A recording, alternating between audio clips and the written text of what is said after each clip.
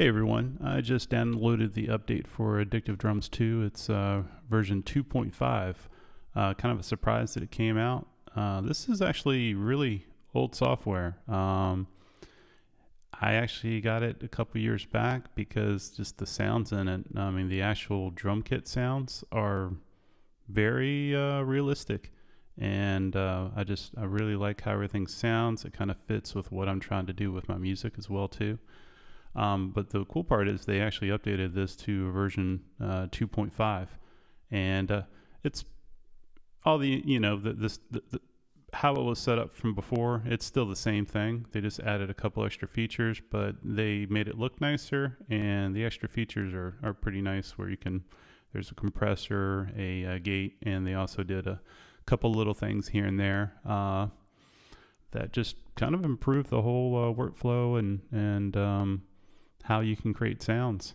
Uh, so let me go over just some of the basics here. Like I said, I just got it, so I don't know 100% of everything, but at least I can give everyone an overview about how I um, do drums and uh, record drums that are virtual. Uh, so this is all on the computer, and uh, what I do is I have a keyboard that will trigger the drum sounds, or there's also within this, there's a, a beat section. So you can go into here and you can actually select pre-made MIDI uh, tracks that you can take and you can actually take these and drag these into your DAW choice uh, that you have. And uh, yeah, typically use this with Reason and uh, Logic. But uh, yeah, let me go over some of this real quick here. So there's the basic explore part here, which you can listen to.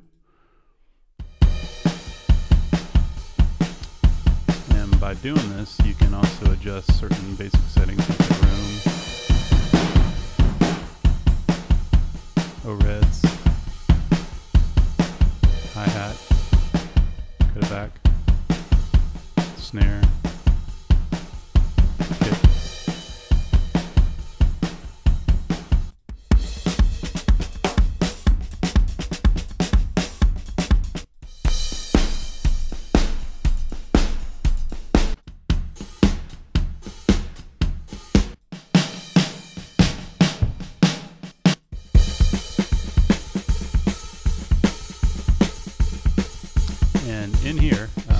through and I've, I have a bunch of other kits that I've uh, purchased from before.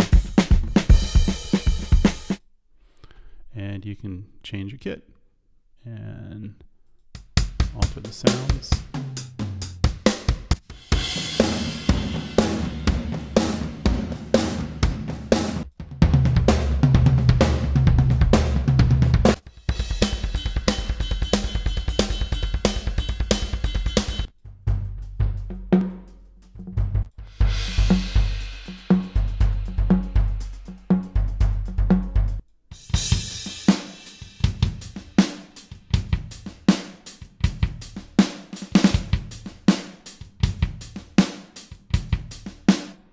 Okay, and then uh, I said these are just different uh, presets that they have.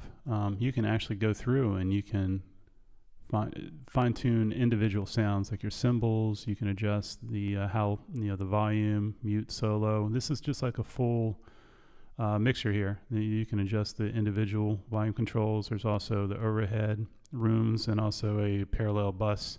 Uh, so if you want to squash everything with a compressor, you can do that as well.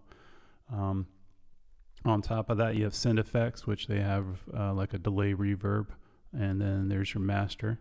Um, you can actually take all of these tracks if you want to as well too, and individually send them out to your DAW of choice and mix through the DAW using uh, plugins that you have. But I found that the internal stuff that they have is really all that I need. Um, if I really ever wanted to, though, the option's there, and you can see you can edit sounds individually. So your, your kick, you can adjust pitch, envelope. Let's do that real quick.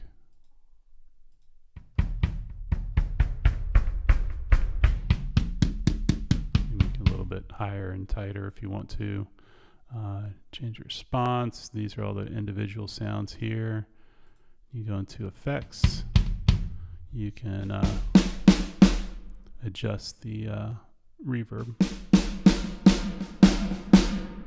Different sounds, ambience, room, all.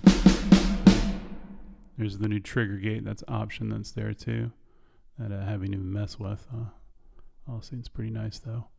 Um, and then this is what I like is uh, you can actually, if you don't want to program all the MIDI parts yourself, um, I actually like to program my MIDI parts, but occasionally there are uh, certain fills uh, that you want to put in, and that's kind of what I use it for. I'll take a, a small fill because, I mean, I can play drums very very basic, but um, sometimes you know it's nice to have a little pizzazz there in your track and add add some fills.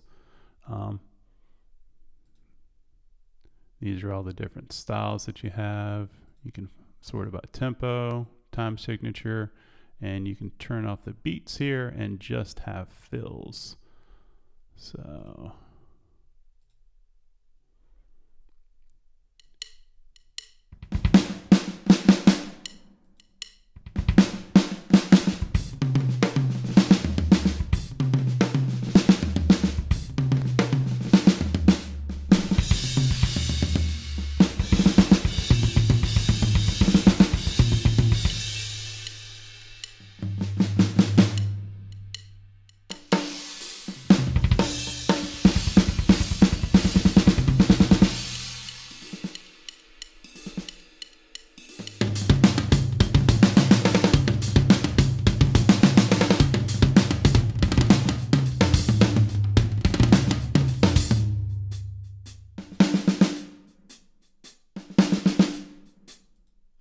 And one thing I do is um, I'll actually drag this into my um, DAW and I'll uh, edit certain parts. You know, just take out the first part and only transfer the certain thing. You can also mark. Uh, this is a new thing I saw was uh, mark first beat in the host. So I think it's this. You just click this and drag it to wherever you want it. I'm guessing. Uh, I'll have to look back at that and see exactly how to do it.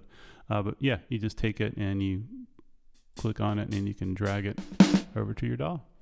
Um, and the way uh, I set it up here is, uh, let me show you my keyboard. So you have your keyboard. Each key has an individual sound.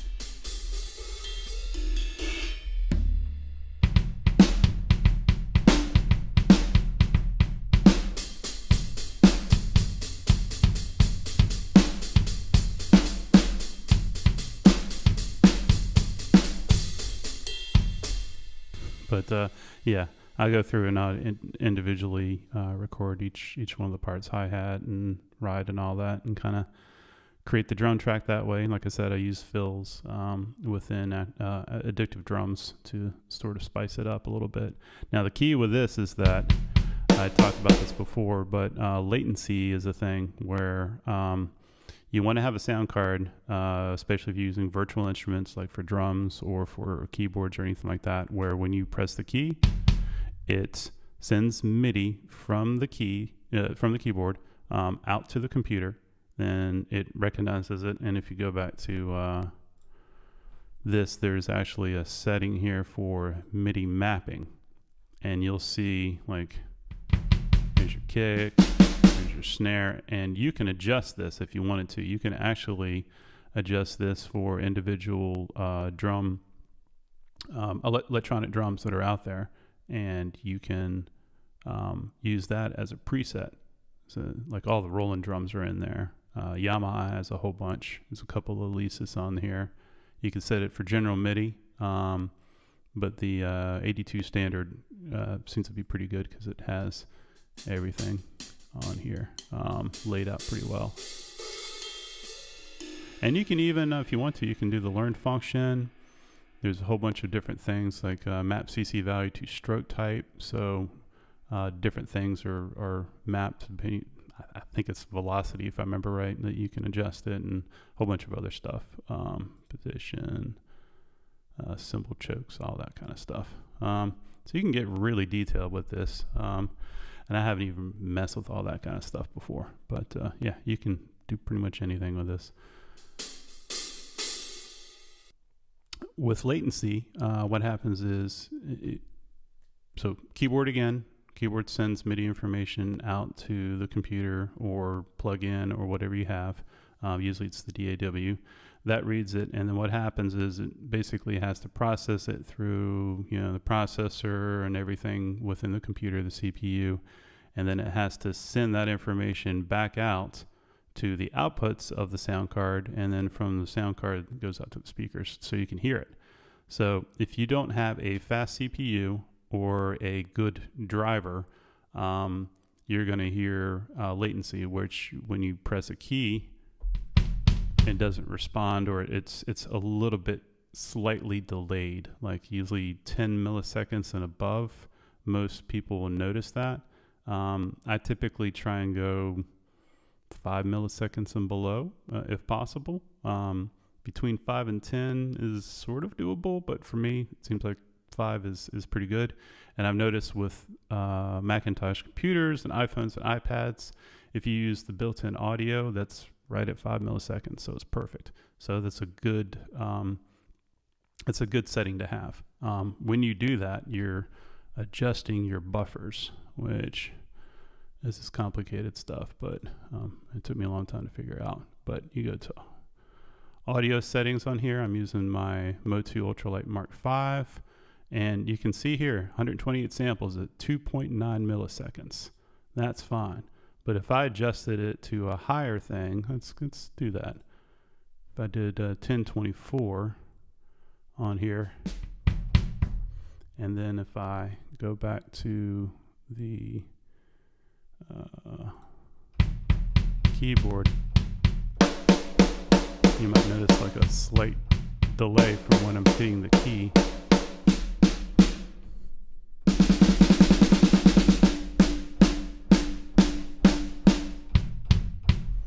Which is the sample rate, the audio buffer size. So let me go back and put it to I like to do 128. You can do 64 and 32 on most Macs and they can handle it, but 128 kind of gives the CPU a little bit of um, room to breathe, uh, is what I, how I say it. And 2.9 milliseconds, that's it's awesome.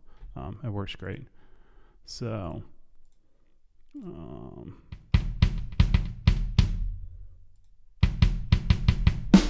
everything plays in time now. That. So that was always a big thing when I was on Windows is trying to get everything down. You can use um, ASIO drivers uh, that help out. Um, any of the stuff that comes with Windows, like if you plug something in and you have that weird latency, it used to drive me crazy. But um, yeah, with Macs, it's uh, pretty pretty easy. With PCs, it can be done. Um, sometimes you just have to adjust settings and, and things like that. And you got to have a strong enough CPU so it doesn't glitch out. You hear pops and clicks if you have problems with that. So, um, yeah, that's uh, it's kind of a overview about how a lot of this stuff works. But yeah, this is how I how I do drums, how I handle it, and um, I, I really like the software. It's pretty awesome that that a company will go out and they'll provide a free update to 2.5 um, from a 10 year old software that's out there that I've always thought, like I said, it sounds really really good and it's it's what I've been using. And I took a long time to to look through all the different um, options that were out there. And there's some that are more expensive. Um, there's a lot of those you have all these crazy add-ons and upgrades and stuff like that. You got to pay for a ton of money. So it's good to see a uh, software company actually um, supporting the users that are, are dedicated. You know that that um, you know in, enjoy uh, what they have out there. So yeah, um, if anyone has questions, uh, leave a question in the comments and uh, yeah, let me know uh, what you use, what you prefer. And if there's any, like I said, other questions of things that I didn't get to about how things are done, um, yeah, let me know and I'll, I'll see if I can answer it. But yeah, yeah, hope everyone uh, has a has a great day today, and uh, hope uh, hope you're having a good week. And I'll talk to y'all later. See ya.